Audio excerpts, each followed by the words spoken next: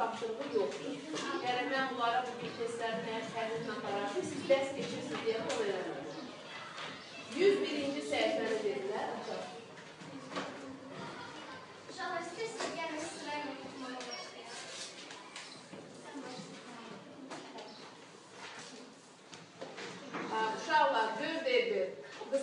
tan tanımırlar, müəllimlərini sizi tanımırlar. Ona görə hər kəs öz adını oxumamışdan qabaq desin ki, müraciət edəndə adınızla müraciət